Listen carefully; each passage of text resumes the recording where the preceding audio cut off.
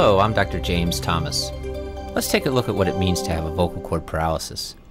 The traditional view is when one vocal cord fails to abduct or adduct fully, it's paralyzed. Yet, in fact, there may be many subtle variations of vocal fold paralysis. The intrinsic muscles of the larynx may be injured to various degrees and in various combinations. There are various stages of recovery and synkinesis. Let's take a look at the seemingly obvious. That is the case when one vocal cord is abducting and adducting normally, and the other is immobile.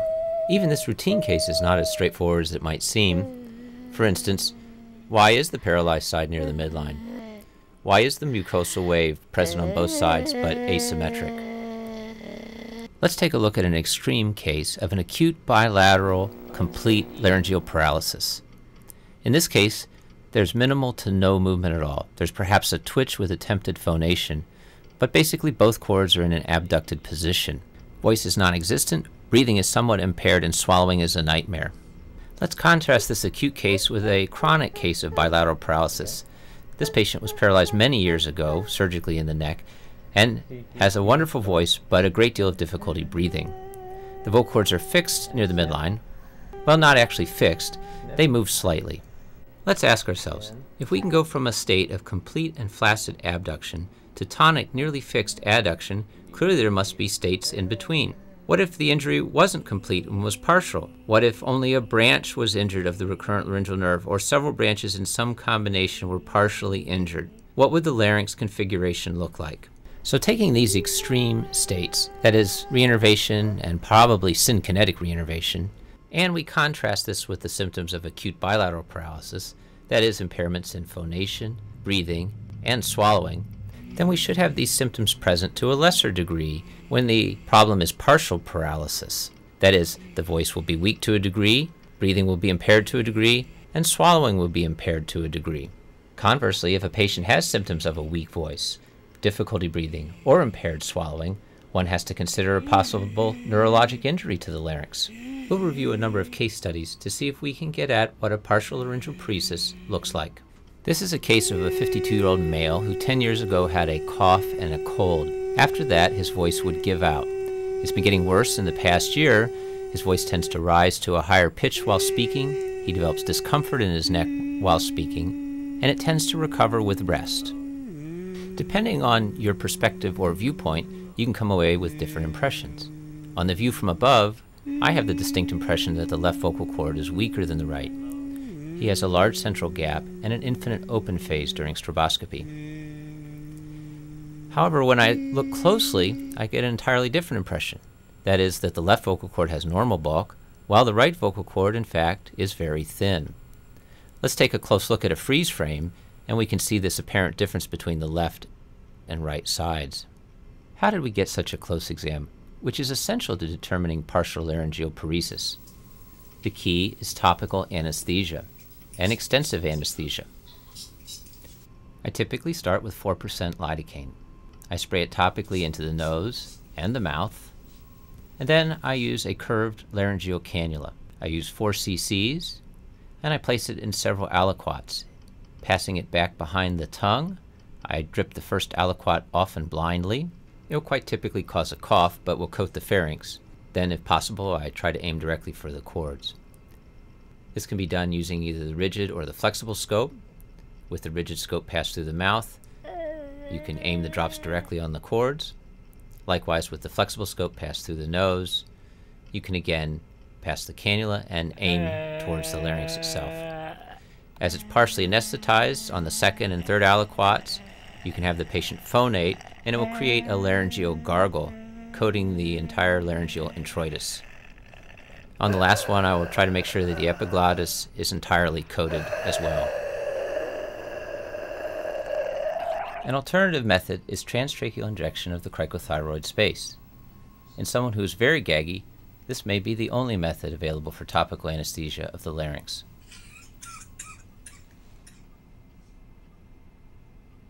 Let's take a look at a case of a 46 year old female who developed a weak voice after an intubation.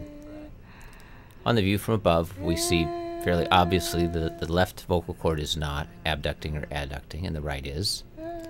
The voice is soft, air wasting, and has a visible central gap, On a close exam, we see something even more remarkable, and that is how thin the left vocal cord is compared to the right. Loud phonation is an extremely important part of the exam, but the details are hidden in the speed. Therefore, it requires slow motion to see what's actually happening to the left vocal cord. That is, the weak thyroarytenoid muscle is just luffing in the breeze. The lack of tension is also visible on plain stroboscopy as a lack of tension on the left thyroarytenoid muscle and a greater amplitude of vibration. Let's look at a case of a 51 year old female who, four years earlier, experienced the onset of a weak voice with no known etiology. When we take a close look at the vocal cords, we see a relative difference in size, with the right side being thinner than the left. On stroboscopy, if we compare the mucosal wave side to side, we see a different type of vibration. On the left side, the mucosal wave centers about the axis of the vocal cord, while on the right side, the mucosal wave is lateralized the entire time. As the pitch drops, the mucosal wave becomes even more lateralized, suggesting that there's no intrinsic tension in the thyroarytenoid muscle, and the tension provided by higher pitches is falsetto, or provided by the cricothyroid muscle. In this case, an 80 year old former cheerleader with a lifelong strong voice lost the qualities of her voice six months earlier spontaneously. It's now soft, weak, and non durable. Supraglottic squeeze is nearly always a sign of glottic incompetence. It means you likely have to anesthetize the larynx in order to get a close look at the vocal cords themselves. This is true whether the squeeze is anteroposterior or whether the squeeze is side to side. On our initial overview, we noticed the prominent squeeze of the false cords. In fact, they nearly hide the true cords and the glottic gap that's present. Then, as we begin our close-up examination of the vocal cords, we notice a general atrophy on the left, plus a central dark area and as we watch closely, we see fasciculations as if the muscle has been denervated. After topical anesthesia, we can pass the scope through the false cords, touching them, and observe the true cords, especially at low pitch, observing the lateralization of the left mucosal wave and the large glottic gap. Since it had been less than a year since the onset of her symptoms, and there remains the possibility of some recovery, I elected to perform a temporary medialization with collagen. In this case, I use Cymetra. I overinject the vocal cord, expecting the injectate to absorb overnight. In this case, the injection was not as evenly distributed as I would have liked, with more in the posterior half than the anterior half, but did medialize the left vocal cord. I usually try to inject it evenly. At the end of the injection, the voice is quite hoarse, as if the patient has an acute laryngitis. This will resolve overnight. This is her exam three weeks post collagen injection. Even on sniffing, she has good fullness to the left vocal cord. On stroboscopy, she has a complete close phase. Her voice is strong and more durable. Of note, the supraglottic squeeze that was present before the injection is now resolved without any exercises or therapy. In this case study of a 55 year old female, she lost her voice two months earlier, completely after an episode of bronchitis. Gradually over time, her upper voice has come back, but her speaking voice has remained scratchy and poor. It wears out with any vocal use. It's interesting to compare the findings on this exam from above with the close up laryngeal exam to see if any more information is available to us. After topical anesthesia, we can slide the scope into the posterior commissure, and the findings there are interesting. In particular, when dropping from a high pitch to a low, note the change in the configuration of the posterior commissure. Note how the vocal process buckles laterally and develops an obtuse angle on the left side. I think this signifies a weakness of the lateral cricoarytenoid muscle, and it's quite often not visible on a rigid laryngeal exam. This case study is of a 38 year old female who one month ago felt she had a viral illness and developed a weak voice afterwards. It's an interesting case because it combines findings in both the thyroarytenoid and lateral cricoarytenoid muscles. First, on stroboscopy, we'll compare the axis of oscillation of the mucosal wave. The right mucosal wave is more lateral and less centered than the left. On a close laryngeal exam, we can compare both the size of the thyroarytenoid muscle and the size of the laryngeal ventricle. The right TA muscle is thin and the ventricle large. And when we place the scope in the posterior commissure, we can see the canting or obtuse angle of the right vocal process. signifying a right lateral cricoarytenoid muscle weakness. Let's see if we can apply these principles to an even more subtle case of vocal cord paresis. This case is a 35 year old male professional voice user who complains of a several year history of a non distinct voice, one that fails to hold up over prolonged use, and cracks at inopportune moments. One's first impression is that the vocal cords appear entirely normal, other than perhaps two red spots on the medial vibratory margin of the vocal cords. At best, these dilated capillaries are typical findings of a vocal overdoer, and they are certainly not causing the symptoms of his current voice disorder. Using a technique of sniffing immediately after phonation, this draws the vocal cords out and tight and will amplify any difference in size between the two vocal cords. Here, the right vocal cord looks a little thinner than the left, but amplifying that finding is the capacious right ventricle compared to the left. This combination of findings suggests a subtle right thyroarytenoid muscle atrophy.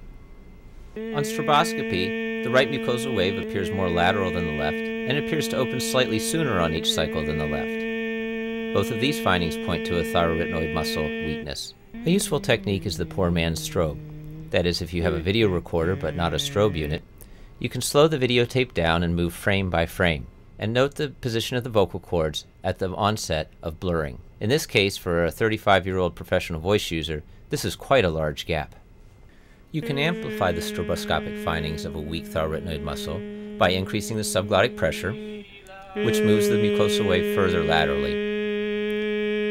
Also, if you lower the pitch, you'll decrease the tension on a weak vocal cord. Here in slow motion, the mucosal wave on the right is more lateral than the mucosal wave on the left. In an attempt to treat the problem, as well as test the hypothesis that the thin right vocal cord is the root cause of his vocal symptoms, we elected to inject collagen. Here the needle is seen passing into the right thyroarytenoid muscle and ballooning up the right vocal cord. Again, I overinject initially because I expect the injectate to absorb. Here is his exam six weeks post injection. His maximum phonation time has increased by over 50%. While the asymmetry of his mucosal wave has not been corrected, the duration of his close phase has improved markedly. On a slow motion review of his stroboscopic exam, we can see that the vocal cords now spend half of each cycle closed, compared to a very brief closure before the injection. The net effect is that his voice is no longer as soft and undependable, and he doesn't run out of air as quickly. Also noticeable on the before side is the supraglottic squeeze, which has resolved on the after side. This 61 year old female rock and jazz singer awoke from cervical surgery with a change in her voice. She no longer could sing in her upper range. She noted a fuzziness to her speaking voice, a loss of tone, and a loss of resonance. On stroboscopic exam, things appear quite normal. She has normal abduction and adduction. She has a symmetric mucosal wave, but a significant limitation to her upper voice. On a close laryngeal exam, the thyroarytenoid muscles appear to be approximately the same size. The most significant finding is on an upward glide. She cannot get out of her chest register. I would infer from this inability to stretch the vocal cords that at least one of the cricothyroid muscles is not tensioning. In summary, a neurologic injury of the larynx may be obvious, with a significant limitation of abduction or adduction on one or both vocal cords. However, if the patient has a history, symptoms, or signs on the exam that are suggestive of a neurologic injury or glottic incompetence, then a detailed exam is necessary. That is, if the history includes potential nerve damage from surgery or other trauma, or if there's been a sudden change in the voice even after a routine viral illness, if the symptoms point to glottic incompetence, the new onset of a weak, soft voice, a poor maximum phonation time, rapid vocal fatigue, or if the patient has signs such as supraglottic squeeze that point to a glottic incompetence, the neurologic causes must be considered in the differential of the exam, and the exam must rule them out to be considered adequate.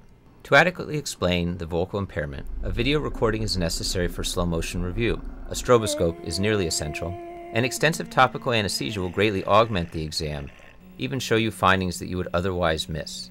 The vocal cords need to be stressed with low and high pitch, and low and high volume. And presumptive temporary treatment can be helpful as a test in subtle cases. An extensive examination of the size, position, and movement of both the vocal cords and the posterior commissure will orient the examiner to potentially injured branches of the recurrent and superior laryngeal nerves.